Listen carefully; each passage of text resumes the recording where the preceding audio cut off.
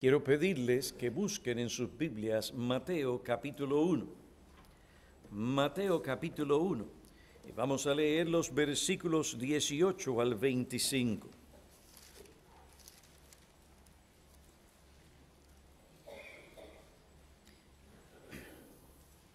Mateo capítulo 1, versículos 18 al 25. Y el nacimiento de Jesucristo fue como sigue. Estando su madre María desposada con José, antes de que se consumara el matrimonio, se halló que había concebido por obra del Espíritu Santo. Y José, su marido, siendo un hombre justo y no queriendo difamarla, quiso abandonarla en secreto. Pero mientras pensaba en esto, he aquí que se le apareció en sueños un ángel del Señor diciendo, José, hijo de David, no temas recibir a María tu mujer, porque el niño que se ha engendrado en ella es del Espíritu Santo. Y dará a luz un hijo y le pondrás por nombre Jesús, porque él salvará a su pueblo de sus pecados. Todo esto sucedió para que se cumpliera lo que el Señor había hablado por medio del profeta diciendo, He aquí la Virgen concebirá y dará a luz un hijo, y le pondrán por nombre Manuel, que traducido significa Dios con nosotros. Y cuando despertó José del sueño, hizo como el ángel del Señor le había mandado, y tomó consigo a su mujer y la conservó virgen hasta que dio luz un hijo y le puso por nombre Jesús. Vamos a orar. Oh Padre Altísimo, fiel a tus promesas, que cumples lo que has prometido, cumples tus pactos, haces tu voluntad. Te adoramos en esta mañana. Te damos gracias por tu iglesia y por la palabra y el Espíritu Santo y te suplicamos en esta mañana que tú por medio de tu Espíritu y tu palabra traigas aquella enseñanza dirigida a nuestras mentes y corazones y seamos santificados y guardados del mal para servirte a ti.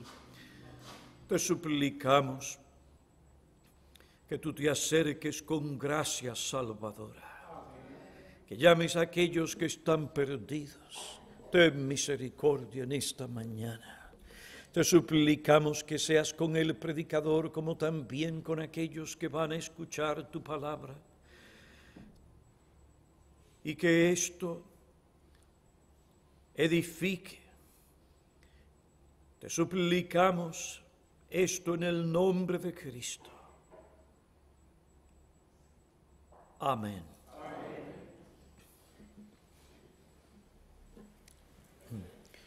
Hoy vamos a estudiar el carácter piadoso de José, el Padre terrenal de Jesús.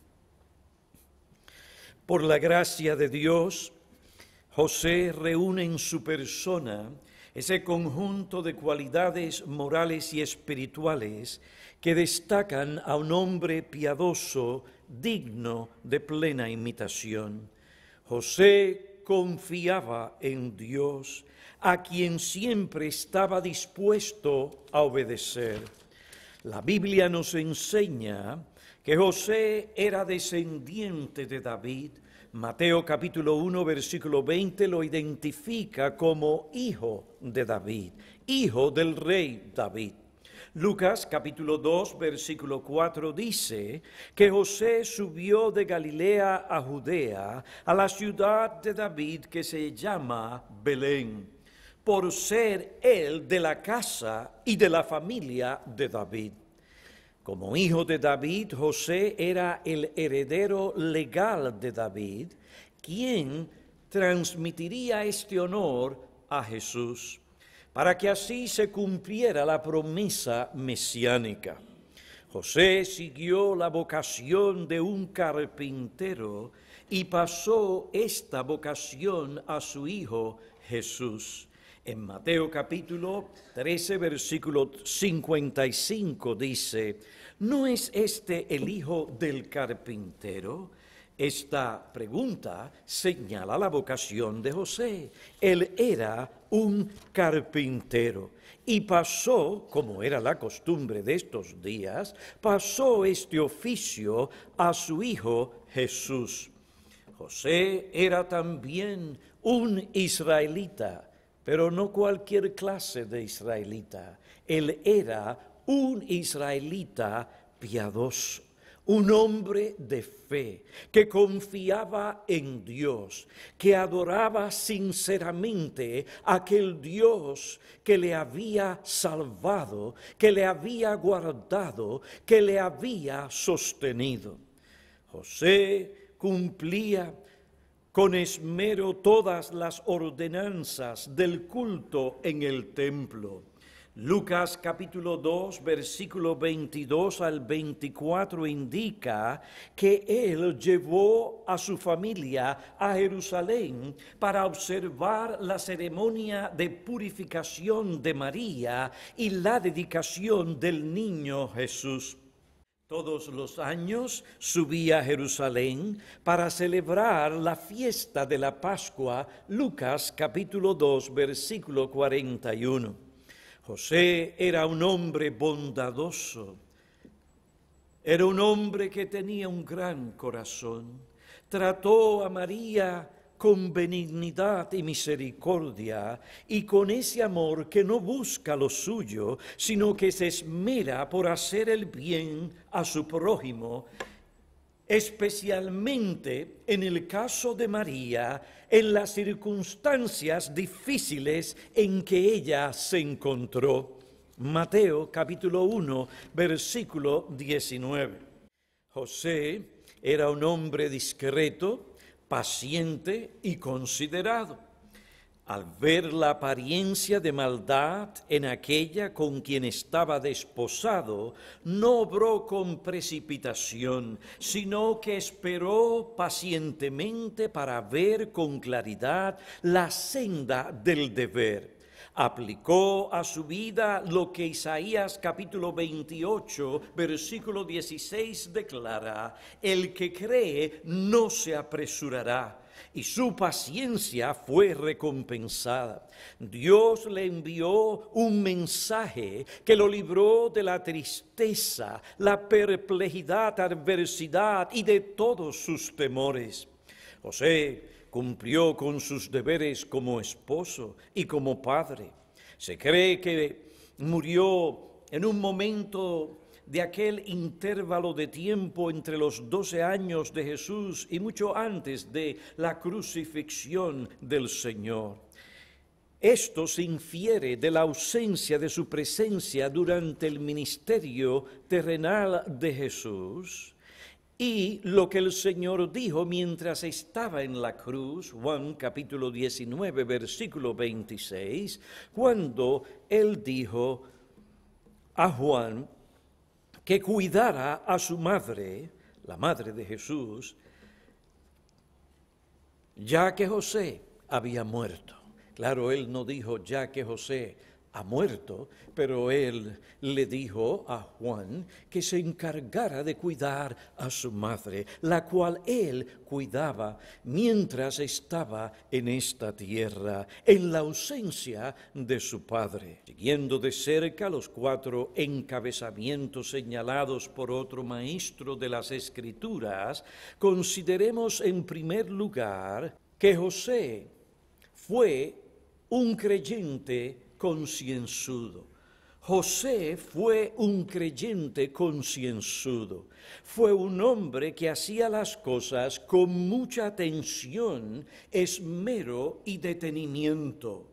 Mateo capítulo 1 versículo 19 dice que José siendo un hombre justo y no queriendo difamar a María, quiso abandonarla en secreto, siendo un hombre justo, es decir, er, era un hombre recto, se esforzaba por entender y hacer con cuidado y diligencia lo que demandaba la ley de Dios con máxima prudencia cumplía los deberes que Dios le había designado. Mateo capítulo 1 versículo 20 y Mateo capítulo 2 versículo 13 al 15 y Mateo capítulo 2 versículo 19 al 23 nos llevan a la conclusión que José vivió en comunión con Dios y era pronto a obedecer al Señor. Él confiaba en Dios y su palabra. Por tanto, solía someterse a la palabra y al mandato de Dios con prontitud. Consideremos las evidencias bíblicas que prueban que José era un creyente concienzudo. Mateo capítulo 1, comenzando con el versículo 18, declara, y el nacimiento de Jesucristo fue como sigue. Estando su madre María desposada con José, antes de que se consumara el matrimonio, se halló que había concebido por obra del Espíritu Santo, y José, su marido, siendo un hombre justo y no queriendo difamarla, quiso abandonarla en secreto. Para que podamos entender estos versículos, necesitamos entender la naturaleza del desposamiento. El versículo 18 dice que estando María desposada con José, María se había desposado o había sido solemnemente prometida en matrimonio a José. Esta ceremonia, según el gran comentarista Hendrickson, no debe confundirse con el compromiso matrimonial moderno. Era mucho más serio y comprometedor. El desposamiento era un contrato legal y religioso en el que el novio y la novia se juraban fidelidad mutua en presencia de testigos. En un sentido restringido, este era esencialmente el matrimonio. Así también es en este caso, como queda claro por el hecho de que desde aquel momento José es llamado esposo, versículo 19, María es llamada esposa de José, versículo 20. Según la ley del Antiguo Testamento, la infidelidad de una mujer desposada se consideraba como adulterio y se castigaba con la muerte. Deuteronomio capítulo 22, versículos 23 y 24. Sin embargo, aunque los dos estaban legalmente desposados, se consideraba propio que pasara un tiempo antes que el marido y la mujer comenzaran a vivir juntos en la misma casa. Hasta ese momento el matrimonio no había sido consumado.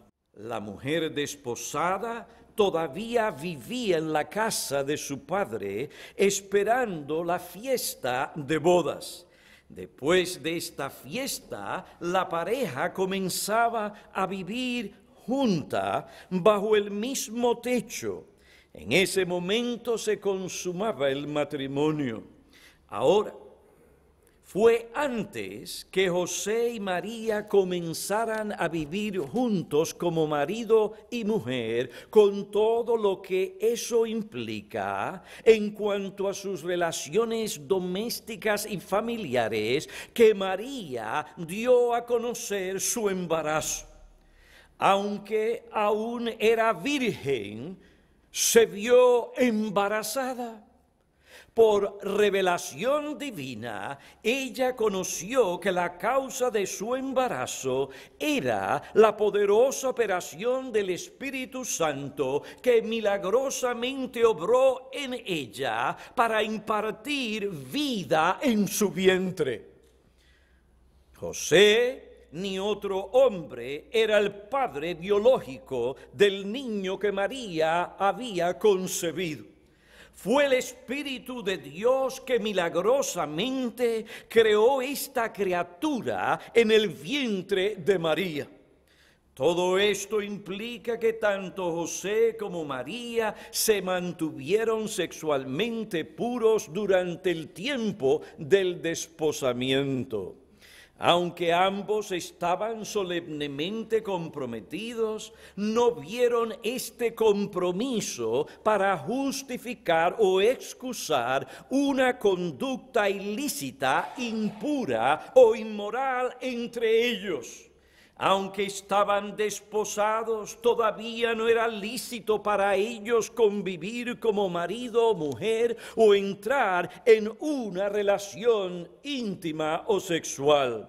Por esta razón, cada uno vivía todavía separado uno del otro, esperando a la fiesta de su boda. Esto significa que José controló sus deseos y pasiones, ejerció dominio propio para someterse a las demandas del séptimo mandamiento que exige pureza sexual. Él, en obediencia a la ley de Dios y para agradar al Señor, conservó la pureza y virginidad propia y la de María. Su desposamiento no le daba el permiso para consumar la unión entre él y María. Observen, él no hizo lo que muchos hacen. Estos por falta de dominio propio, por su carnalidad o las pasiones de la carne o para satisfacer los deseos de la carne y de la mente, violan el séptimo mandamiento. Se entregan a la impureza y a la inmoralidad. Se dejan seducir por su codicia e impureza, proveen para la carne, ceden a la tentación y para hacerlo sin problema alguno de conciencia o para que su conciencia no les atormente, justifican su acción pecaminosa diciéndose el uno al otro que se aman o que se van a casar o que es bueno conocer antes de casarse si son sexualmente compatibles. José era un hombre justo. El texto dice, siendo justo. Ese era su modo de vivir, ese era el patrón de su vida. Vivía para agradar a Dios, vivía para cumplir la ley de Dios daba muerte a sus deseos pecaminosos, se entregaba diligentemente y con esmero a guardar los mandamientos divinos. Él no hizo provisión para la carne. Por otro lado, se entregó a pensar en lo que es verdadero, digno, justo, puro, amable. ¿Para qué? para guardar su pureza, para agradar a su Señor, para vivir para la gloria de aquel que le había tratado en gracia y misericordia. Él, José, no se dijo a sí mismo, antes o después de su compromiso, bueno, ya que estamos comprometidos o desposados, ¿por qué esperar? Además, ¿quién se va a enterar? Tampoco se dio el lujo de fomentar una relación física entre él y María, que despertaría en él o en ella deseos carnales o les prepararía para entrar en una relación que satisfacería su carne. No, él no hizo tal cosa, él no hizo provisión para la carne, mantuvo su distancia de María. Trató a María con respeto, se mantuvo puro en el periodo de su desposamiento, respetó el hogar de aquella mujer, el padre y la madre de aquella mujer. Él vivió para agradar al Señor, Lo que Dios mandó, eso hizo. Lamentablemente, esta perspectiva que José tenía en su corazón y en su mente, esta convicción, este comportamiento no es común en nuestra sociedad. Y lo que es peor entre parejas que dicen conocer al Señor y ser cristianos, allí encontramos personas justificando lo que no se puede justificar. Justifican su conducta con argumentos falsos y baratos. Podemos, se dicen, darnos el lujo de tocarnos, de expresar físicamente lo que sentimos, porque nos amamos, porque nos vamos a casar. Algunos se atreven hasta llegar al asunto, bueno, debemos investigar para si somos, a ver si somos compatibles. José y María no usaron esa clase de argumentos para satisfacer o hacer provisión para la carne. Otros descaradamente se van a vivir juntos sin estar casados. José ni María harían tal cosa porque temían a Dios. Había un día de bodas que esperar. Había que ser pacientes, ejerciendo dominio propio. Ellos eran personas justas, eran personas concienzudas en lo que respecta a observar o guardar los mandamientos del Señor. Sus deseos no era la cosa importante, ni lo que gobernaba su vida, sino la voluntad de Dios. Esto muestra que habían nacido de nuevo. Para obedecer la ley de Dios, mantener su integridad, ellos conservaron su pureza moral y espiritual. La conducta de José nos sugiere que le entendía la gran importancia de esta dimensión de una vida recta y pura delante de Dios y de los hombres. Pablo hace referencia a este asunto en su primera epístola a los tesalonicenses capítulo 4 versículo 3. Dice, porque esta es la voluntad de Dios, vuestra santificación, es decir, que os abstengáis de inmoralidad sexual, que cada uno de vosotros sepa cómo poseer su propio vaso en santificación y honor, no en pasión de concupiscencia. Aparentemente José entendió que tenía que controlar su cuerpo y sus pasiones por esta razón se guardó de la impureza sexual, no se dio a la lujuria, no usó a María, no aprovechó la ocasión para gratificarse a sí mismo, sino que, por temor a Dios, ejerció dominio propio y promovió el bienestar de aquella con quien se había desposado. Porque José era un hombre que temía a Dios. Él entendía claramente que su cuerpo y aquellos dones que Dios le ha dado a un hombre, que tienen que ver con su sexualidad, su cuerpo y su sexualidad no era suyo, sino que le pertenecía al Señor y él debía usarlos así como la ley de Dios enseña.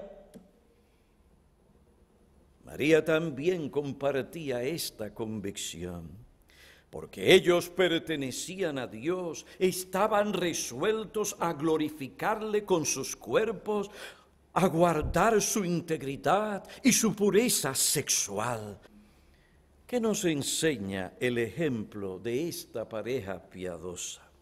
Su ejemplo nos enseña que la oportunidad, presión tentación, seducción, no da a ninguna persona el derecho para entregarse a la impureza sexual. Esto es importante, se aplica a todos nosotros. La oportunidad, la seducción, la tentación, la presión, no da a ninguna persona el derecho para entregarse a la impureza sexual, no importa la circunstancia. Nos enseña que lo que otros hacen y los argumentos que comúnmente usan para satisfacer la carne no son excusas ni razones válidas para la inmoralidad. Pero corazón, no te preocupes. Dice el joven a la jovencita, pronto nos vamos a casar. No. Pero cariño, nadie lo conocerá. Y si quedas encinta no habrá forma de que otras personas lo conozcan porque nos vamos a casar. O podemos apresurar la boda. David trató de esconder las cosas de los hombres. Pero qué cosa insensata. Hasta el día de hoy los hombres conocen lo que hizo con Betsabé.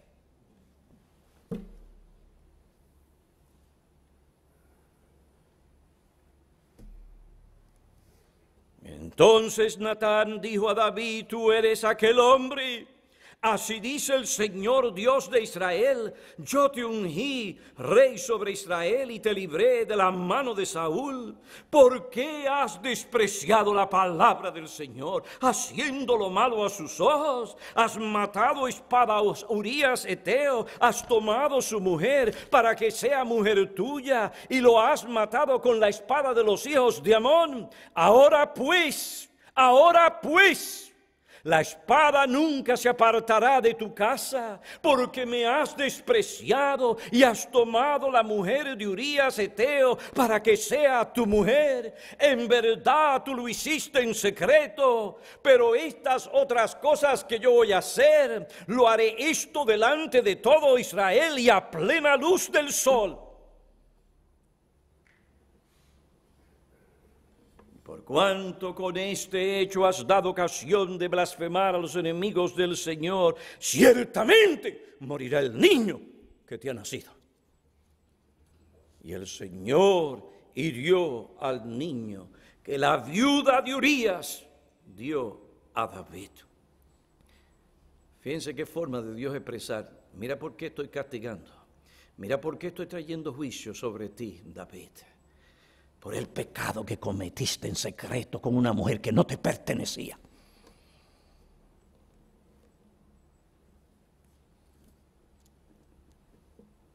El Señor hirió al niño que la viuda de Urias dio a David.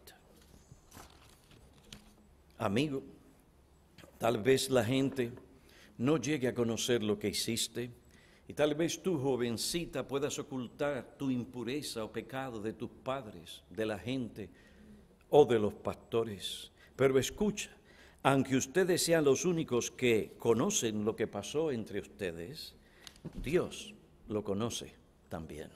Y ese es el que realmente cuenta. Él les llamará a dar cuenta. Tu conciencia te recordará con gran turbación y tormento tu transgresión. Y esto acontecerá cuando tú menos lo esperes. La conciencia te condenará, te recordará los pecados de tu juventud. He aquí la manera en que tu pecado te alcanzará. Tu conciencia te recordará con gran turbación y tormento de tu transgresión. Cuando tú no lo esperes, te condenará te recordará los pecados de tu juventud y te sentirás moralmente impuro o impura. Mel Gibson, actor famoso de Hollywood, hizo el personaje de El Patriota. Él dijo, me pasé la vida haciendo estupideces. Había aprendido que el éxito mata. En El Patriota, su personaje dice, siempre tuve miedo de que mis pecados volvieran a visitarme.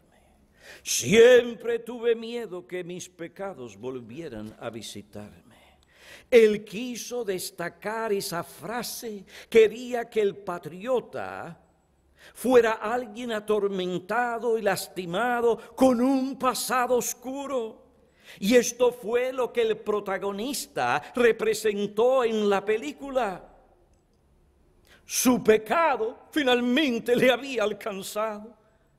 Y como él se dio cuenta de que esto había ocurrido, cuando menos se lo esperaba, dos de sus hijos murieron. Y esto le llevó a recordar con dolor los pecados que anteriormente había cometido. Cuando estas cosas ocurrieron, el patriota no solo sufría por la muerte de sus hijos, sino también por una conciencia que le atormentaba por el pasado oscuro que había vivido. Joven, los recuerdos de aquella noche, de aquella noche que pasaste, hiciste lo que no debías haber hecho. Tu vergüenza y tu impureza moral y tu pecado quedarán grabados en el registro de tu conciencia para siempre. Y cuando menos lo esperes, tu conciencia, despertada por la providencia de Dios y por la palabra de Dios, lo usará para atormentarte. Y lo que es peor, tu pecado será revelado en el día final. Pues todos, dice la Biblia, compareceremos ante el tribunal de Cristo. Eclesiastés declara, acuérdate pues de tu Creador en los días de tu juventud. Teme a Dios y guarda sus mandamientos, porque esto concierne a toda persona, porque Dios traerá toda obra a juicio junto con todo lo oculto, sea bueno, sea malo. Oh, pero nadie lo conocerá. Pero de Dios no podrás ocultarlo. Su omnisciencia no lo olvidará. ¿O no sabéis que los injustos no heredarán el reino de Dios? La Biblia es clara, no os dejéis engañar. Ni los inmorales, ni los idólatras, ni los adúlteros, ni los afeminados, ni los homosexuales, ni los ladrones, ni los ávaros, ni los borrachos, ni los difamadores ni los estafadores heredarán el reino de Dios.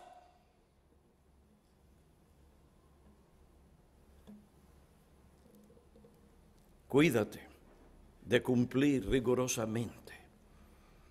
Cristiano, cuídate de cumplir rigurosamente todas las exigencias de los mandamientos de Dios.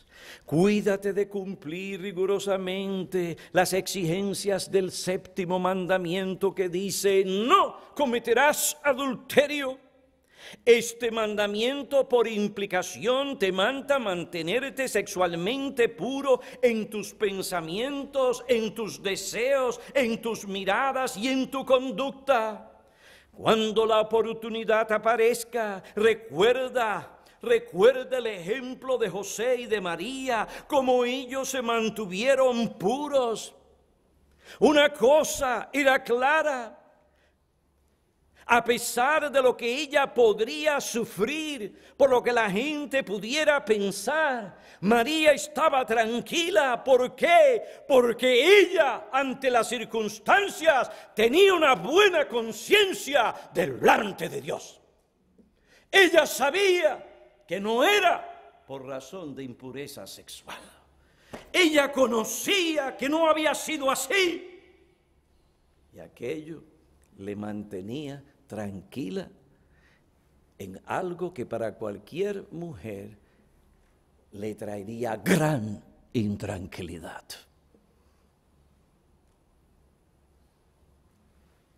La bendición de vivir con una buena conciencia delante de Dios y de los hombres.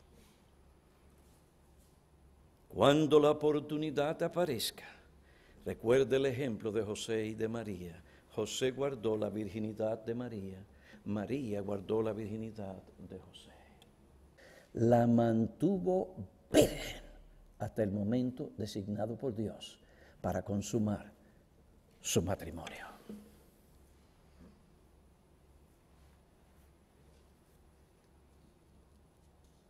Recuerda no solamente a José, el padre adoptivo de Jesús, sino también recuerda, joven, el ejemplo. Y no solamente joven, tú hombre y tu mujer que me escuchas, recuerda el ejemplo de José. Él resistió la tentación, el ejemplo de José en Egipto. Recuerda el ejemplo de José ante la insistencia, las seducciones, las invitaciones de la mujer de Potifar. Ven, amorcito, ven, ven, te quiero besar, ven esto, ven lo otro, usando sus capacidades femeninas para enredar a este joven para que este joven satisfaciera las lujurias de su corazón, las del corazón de ella, las del corazón de ella. Ven, acuéstate conmigo. José resistió. El temor de Dios le llevó a decir, ¿cómo entonces iba yo a hacer esta gran maldad y pecar contra Dios? La mujer lo invitó a acostarse con él. José dice, la ley de Dios prohíbe tal cosa. Pero Potifar no está aquí, nadie se va a enterar. Pero eso no es el asunto. ¿Cómo puedo hacer esa gran maldad y pecar? ¿Y pecar? ¿Contra quién? Contra aquel que está aquí y que me llamará a dar cuentas.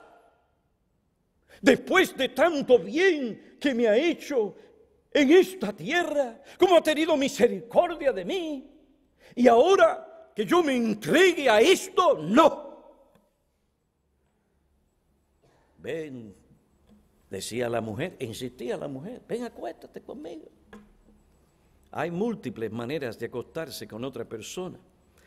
La pornografía televisada, los programas seductivos de la televisión, la pornografía en el Internet, las llamadas telefónicas, oh hombre que me escuchas, apártate de esas cosas. No juegues con ellas.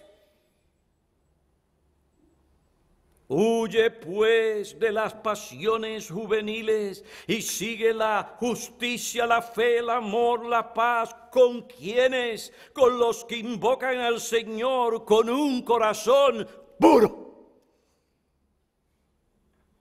Pablo le dice eso a Timoteo. Huye, siervo de Dios, huye. Cristiano, huye. Joven, huye. Mujer, que tal vez no recibe la satisfacción que tú quisieras. Y viene otro hombre de afuera y te hace, ah, y empieza a hablarte como tu marido no te habla.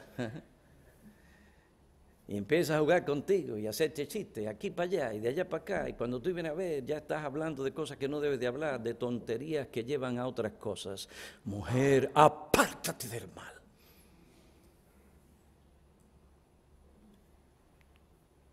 Y tú que esperas casarte, ama a tu futuro cónyuge suficientemente como para presentarte a él o a ella como José se presentó a María, un hombre puro, justo, concienzudo, un hombre de convicciones.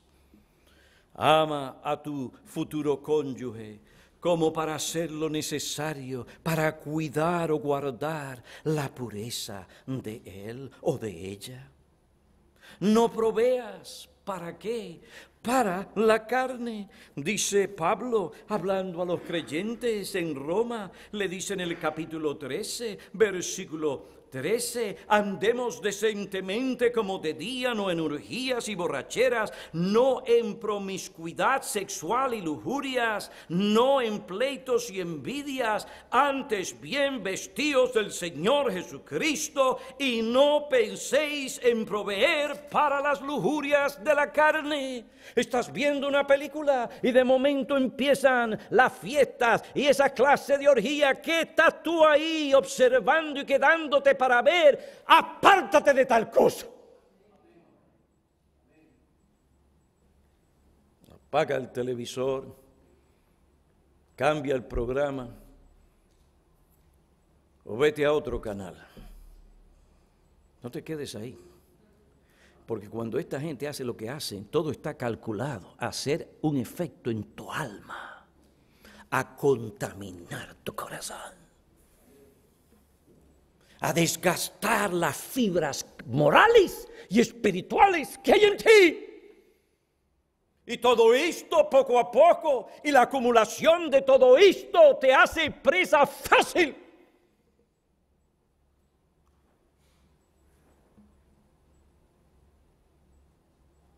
Recuerda la ruina y el conflicto y la miseria que el pecado siempre trae. Este complicará tu vida más allá que cualquier cosa que tú puedas imaginar. Por tanto, sigue el ejemplo de este creyente concienzudo y obedece al Señor. Esmérate en obedecerle como debes obedecerle y apártate del mal. Evita las caricias románticas o seductivas que gratifican los deseos sexuales. Estos son solo una preparación para un acto que tú no debes realizar. No juegues con fuego, con el fuego de tus pasiones. No estés a sola con ese joven o esa jovencita con el que tú te encuentras emocionalmente involucrado o involucrada. Clama al Señor. Señor, yo quiero ir a la noche de mi boda con una buena conciencia, no con una conciencia ensangrentada y herida. Porque no escuché la enseñanza bíblica, porque no fui un creyente concienzudo, porque traté de ir hasta donde, déjame ver hasta dónde llego, hay creyente, vamos a ver hasta dónde yo puedo llegar sin pecar. Esa no es la manera de combatir el pecado. Esa no es la manera de mantenerse puro. No juegues con fuego porque te vas a quemar. Clama al Señor, Señor, ten misericordia. Ayúdame.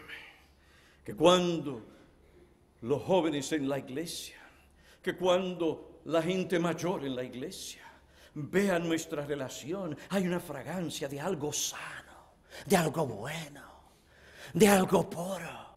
Qué gozo, qué alegría, qué buen testimonio delante de este mundo que dice y de ese evangelicalismo y de esos cristianos que dicen que no se puede hacer. Sí se puede hacer. Cuando somos creyentes concienzudos y no estamos pensando en nuestros deseos, sino en la gloria de Dios, el bien de la iglesia. Y cómo Dios recompensa a esas parejas, cómo Dios los bendice. Qué grato testimonio, qué buen testimonio, qué testimonio eficaz. Por lo demás, hermanos, todo lo que es verdadero, todo lo digno, todo lo justo, todo lo puro, todo lo amable, todo lo honorable, si hay alguna virtud o algún algo, algo que merece elogio en esto, meditad. Esto es un versículo que hay que escribir en un cartelito y ponerlo encima del televisor. O cuando vas a visitar el internet, allí está todo lo puro. Mm, Sí, sí, sí, sí, sí, todo lo verdadero, todo lo digno, todo lo justo, todo lo amable, sí, todo lo honorable, si hay virtudes, por aquí sí, sí, si no es esto, no es esto, si no es esto, no va, no va, no toques.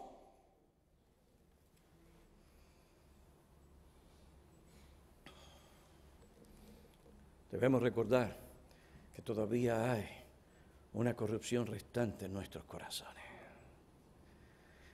Ninguno de ustedes, hombres, a mí no me importa si tienen 70 o 80 años, ninguno de ustedes puede decir que estoy libre. Mientras más van pasando los años, más tenemos que cuidarnos. Más, no menos, más. Esta enseñanza es para nosotros, esta enseñanza es para mí.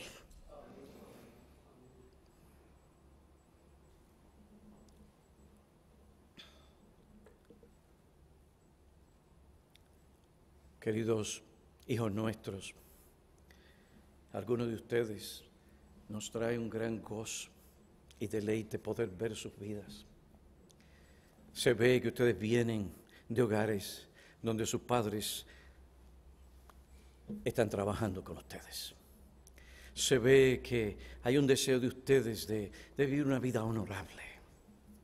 Estas cosas nos traen a nosotros gozo. Estamos contentos y agradecidos al Señor y a ustedes. Pero escuchen, hijos nuestros, medicina preventiva. Medicina preventiva. Tú necesitas más que una buena educación. Tú necesitas nacer de nuevo para poder decir, como José, ¿cómo puedo hacer yo esta gran maldad y pecar contra Dios? Algunos de ustedes no conocen mundo. Muchachos sanos, bueno, y algunos de ellos casi ya parecen a Rambos. Yo no sé qué es lo que le echan en la casa. Óigame, buenos mozos. Y ustedes van a ir a lugares cuando lleguen a la universidad y otros sitios como estos, y las muchachas del mundo inmediatamente se van a quedar impresionados. Uy, qué hombrecito ese, mira qué buenos modales, viene de una buena casa y esto y lo demás. Y ustedes saben que hoy en día las muchachas ya no es ni necesario uno ir a buscar, las muchachas vienen donde uno es más, ah, es peor lo que hace. Jovencitos, jovencitas, no dependan solo de su buena educación, ustedes necesitan arrepentirse de sus pecados. Ustedes necesitan clamar a Dios para que Dios les dé un nuevo corazón. Que Él infunda en vuestras mentes y corazones el temor de Dios. Y sí, uno puede llegar al matrimonio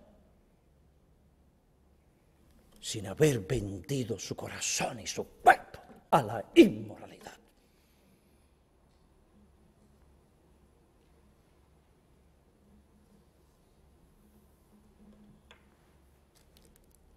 Pastor, ¿por qué usted trajo esto hoy? Yo no pensaba hablar de esto hoy. Yo no pensaba hablar de esto hoy. Pero Dios miró las cosas porque Él sabe lo que necesitamos. Él sabe lo que mi corazón necesita, Él sabe lo que tú necesitas y Él llevó la situación en esa dirección. Entonces el que se cree que está firme, tenga cuidado, no sea que caiga diga, Señor, gracias por esta palabra. Oh, no, el pastor vino a tirarme una aquí. No, no, no, no, no, mire, reprende al maligno, esa es la voz de la serpiente. Sino todo lo contrario, Señor, cuánto tú me amas, que me das estas cosas y me las vuelves a repetir para que yo cuide mi corazón, para que yo viva como aquel hombre de Dios, un hombre justo, concienzudo un hombre puro, un hombre digno de imitación. Esos son los hombres que Dios se deleita en usar de una manera especial. Dios usó a aquel hombre para que fuera el Padre del Señor Jesucristo. ¡Qué influencia!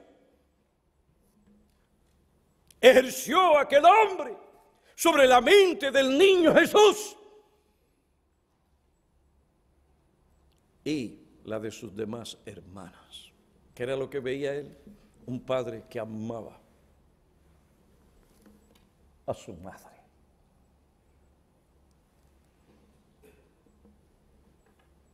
Un esposo, una esposa, padres entregados a servir al Señor de principio, costara lo que costara.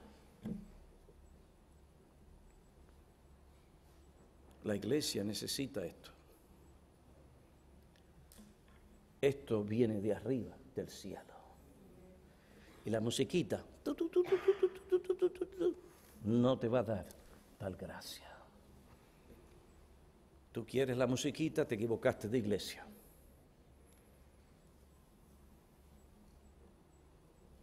¿Sabes lo que es eso? Que jóvenes estén en un culto y después salgan y se pongan a jugar. Jóvenes, no se vayan a hacer tal cosa. Vayan a clamar a Dios. Vayan a pedir al Señor, ten misericordia de mí. Sálvame.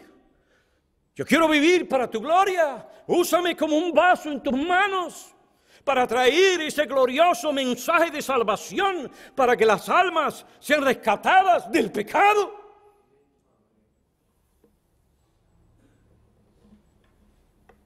Yo prefiero ver gente llorando, jóvenes llorando, a verlos riéndose a carcajadas y los padres felices porque los muchachos están contentos cuando deben estar llorando con lágrimas. Hemos pecado contra Dios.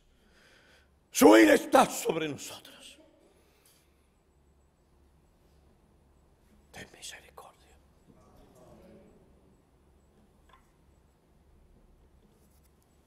Que Dios por medio de su palabra guarde nuestros corazones. Mi amigo pecador, para ti hay salvación. Sí, tú puedes decir, bueno, es que yo hice tal cosa, o hice tal otra cosa, hice aquello, hice lo otro. Mi amigo, óyeme bien, óyeme bien. Mira lo que dice la palabra de Dios. ¿O no sabéis que los injustos no heredarán el reino de Dios? No, no os dejéis engañar ni los inmorales, idólatras, adúlteros, afeminados. Esos no heredarán el reino de Dios. Defiéndalo quien quiera defenderlo. Dios dice en su palabra, no os dejéis engañar. Ah, pero Pablo no termina ahí. Él dice, y esto erais algunos de vosotros. Pero fuisteis lavados, pero fuisteis santificados pero fuiste justificados en el nombre del Señor Jesucristo y en el Espíritu de nuestro Dios. Hay para ti esperanza.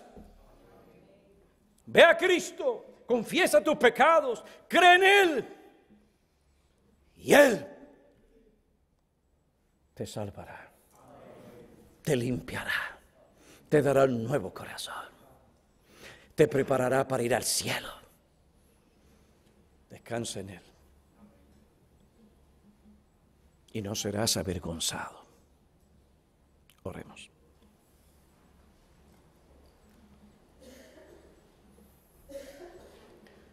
Padre, agradecidos estamos por la enseñanza de tu palabra y el ejemplo del carácter piadoso de aquel hombre de Dios.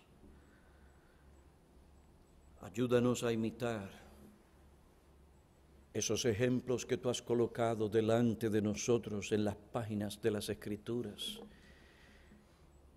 y esos ejemplos vivos y encarnados, producto de la obra poderosa de tu gracia por medio de tu Espíritu. Líbranos de la inmoralidad.